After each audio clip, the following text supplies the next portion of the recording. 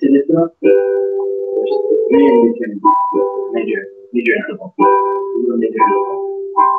Lower by one, and when there's two spaces in between, the minor. Major, when there's three in between. Minor, when there's two. Any note, literally any note.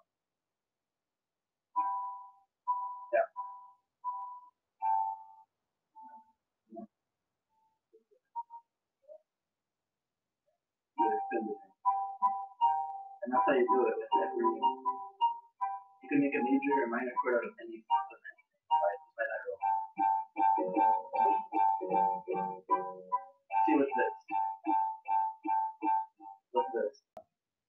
Here's the tips.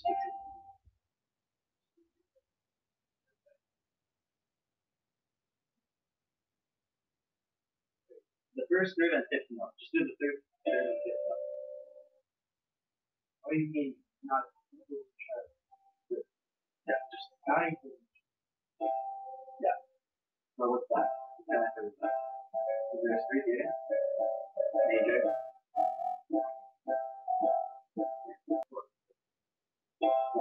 Okay, so this is a, is a major chord. You do this. And then there's two notes in between the first two notes. And three notes in between the second and third. And you can back and forth. See how it works? Have you ever?